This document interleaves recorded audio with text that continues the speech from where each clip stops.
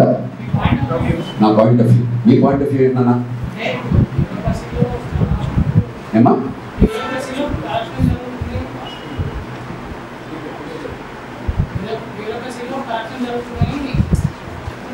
Okay. బ్యూరోక్రసీలో corruption జరుగుతుంది అంటే corruption మంచిదనమంటావా చెడనమంటావా విజయప్షన్ ఉందనమంటావా అనమంటావా నాకు అర్థం కదా ప్రశ్న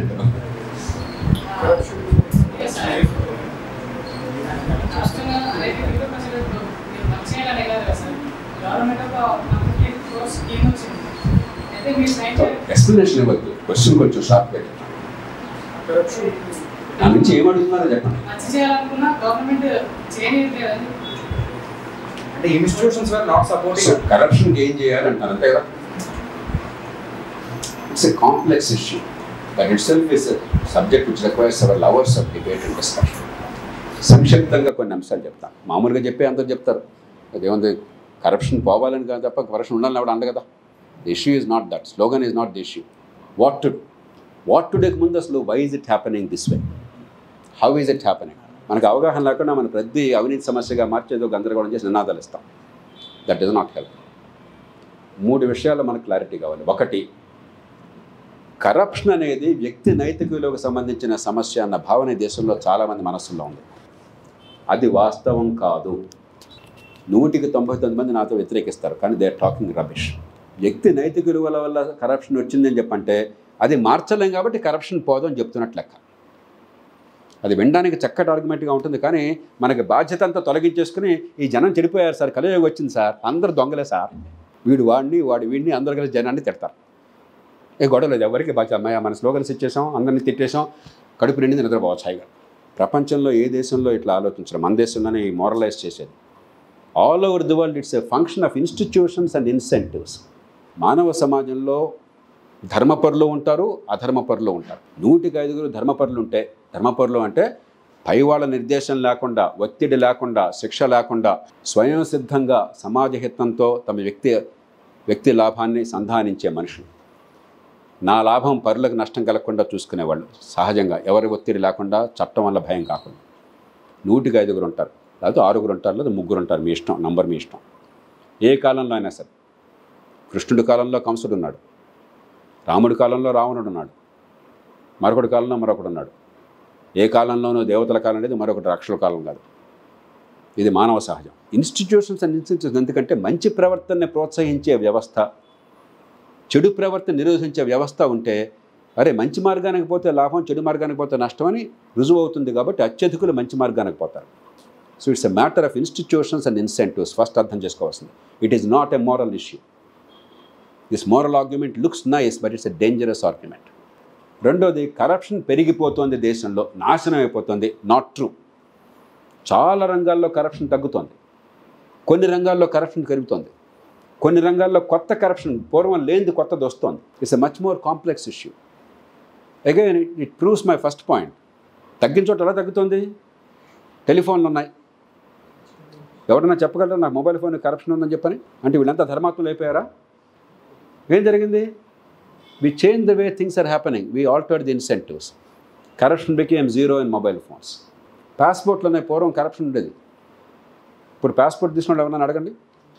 ప్రాక్టికల్లీ జీరో కరప్షన్ ఏమైంది? అద్భుతాలు జరిగినాయి? పాస్పోర్ట్ వాళ్ళ మహాత్ములు అయిపోయినారా? కాదు. We change the way things are done నా ఇంట్లో సిమెంట్ కావాలి పూర్వం పది బస్తాలు సిమెంట్ కావాలంటే నేను సబ్ కలెక్టర్గా ఉండగా ఆఫీస్ ముందు పడిగాపులు కాసేవాళ్ళు. చాలా సందర్భాల్లో అక్కడ గుమస్తా కాడుకు లంచాలు ఇచ్చేవాళ్ళు గతిలాగా. నేను సబ్ కలెక్టర్గా చూశాను. ఇవాళ మీరు సిమెంట్ కొనాలన్నా స్టీల్ కొనాలన్నా లంచం ఇచ్చేవాళ్ళు ఒకళ్ళు ఉన్నారా ఏం జరిగింది? మహాత్ములు అయ్యారా? ఎప్పుడైతే స్వేచ్ఛ ప్లెంటిఫుల్ సప్లై మార్కెట్ ఎకానమీ వచ్చిందో corruption became zero there competition and choice రాగా I can go on and on కానీ కొన్ని రంగాల్లో ఎక్కడైతే ప్రభుత్వ నియంత్రణ పోకుండా ఉందో గుత్తాధిపత్యం కొనసాగిందో ఇక్కడ తగ్గింది కాబట్టి ఆవార పెరుగుతుంది. ఎందుకంటే పొలిటికల్ డిమాండ్ కంటిన్యూస్గా పెరుగుతూనే ఉంది డబ్బులు. హుజూరాబాద్లో గతంలో ఐదు కోట్లు పెడితే ఇప్పుడు యాభై కోట్లు పెడుతున్నారు. మరి యాభై కోట్ల డబ్బులు కావాలి కదా ఎక్కడో చోట.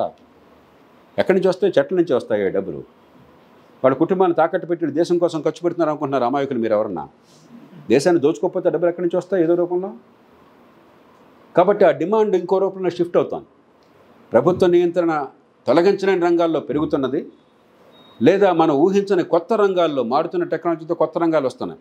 మనం గతంలో ఊహించినాయి టూ జీ స్పెక్ట్రమ్ ఆ గొడవ జరిగేదాకా అసలు అలాంటి స్పెక్ట్రమ్ ఉంటుంది దానిలో డబ్బులు తెలుసు ఎవడో తెలియదు ఇప్పుడు టూ జీ స్పెక్ట్రంలో జీరో కనెక్షన్. ఎందుకని? ఉపన్యాసాలు ఇవ్వబట్టి కాదు. నేను సుప్రీంకోర్టుకి వెళ్ళాను. దేశంలో మహామహుల్ని కూర్చి వీళ్ళని జైల్లో పెట్టినని అన్నాను నేను అదేదో చేస్తారు తమాషాలు ఆడతారు జరిగేదేం కాదు. ఎవరిని ఒక్కరిని కూడా జైల్లో పెట్టలే చివరికి. సిస్టమ్ మార్చడం కోసం నేను ఫైట్ చేశాను. టూ జీ స్పెక్ట్రమ్ ఇచ్చిన తీరు by definition is corrupt and arbitrary అన్నీ క్యాన్సిల్ చేయండి. నూట ఇరవై రెండు లైసెన్సులు క్యాన్సిల్ చేయండి. కంపల్సరీ కాంపిటేటివ్ బిడ్డింగ్ పెట్టండి. దీనిలోనే కాదు భవిష్యత్తులో కూడా పెట్టి ఏర్పాటు చేయండి. సహజ వనరులు అని చెప్పిన సుప్రీంకోర్టుని కోరాను నేను. దేశంలో పది పదిహేను మంది మహామారంతో కలిసి వచ్చారు. నేను ఇనిషియేటివ్ తీసుకుంటే. ఐ వన్ ద కేస్ మొట్టమొదటిసారిగా దేశంలో నూట ఇరవై రెండు స్పెక్ట్రమ్ లైసెన్సులు క్యాన్సిల్ అయినాయి. ట్రాన్స్పరెంట్ బిడ్డింగ్ జరిగింది. అప్పుడే కాదు ఇక ముందు కూడా భవిష్యత్తులో ఇక స్పెక్ట్రమ్ ఎలకేషన్లో దేర్ ఇస్ జీరో కరప్షన్ వీళ్ళెవరు మోరల్ జెయింట్స్ కాలా? We change the way it is done రేపొద్దున ఇంకోటి ఓపెన్ అవుతుంది దగ్గర గ్యారంటీ కొత్తగా డ్రగ్స్ వస్తున్నాయి.